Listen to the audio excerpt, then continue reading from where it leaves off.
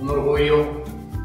estar aquí en el, coloquio en representación del doctor Antonio Guzmán Fernández, que como ya lo mencionó la, doctora Leti, se encuentra fuera de cuestiones de, de, las gestiones para la universidad.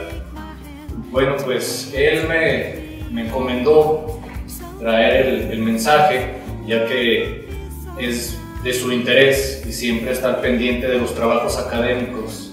de la universidad y el apoyo a, a la, al personal que, que, organiza estos eventos. Conociendo el trabajo de los directores de algunos de los archivos de aquí, eh, nos damos cuenta que hace falta mucho trabajo, pero se está, se está llevando a cabo.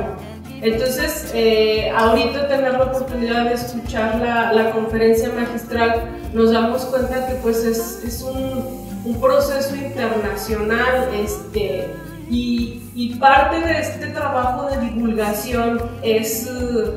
eh, es poner un granito de arena a, eso que se está llevando a cabo. Entonces, este es como para mí, es como una especie de implosión sobre Cralis Lispector y estoy realmente muy emocionada. Quiero decir que todo esto surge de un camino de estudio, de trabajo, de lectura, pero sobre todo en esta conexión en Río de Janeiro eh, con la Fundación Casa de, Rui, Casa de Rui Barbosa, que me permitió conocer a estas maravillosas personas, a Eliane Vasconcelos, a Felipe Díaz Trota, también conocí en Río de Janeiro a Emiliano,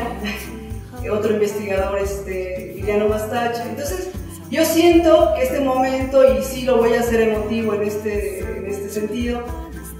para mí es traer un poquito de Brasil a Zacatecas y que este evento es Clarice Inspector, pero también es un encuentro entre México y Brasil.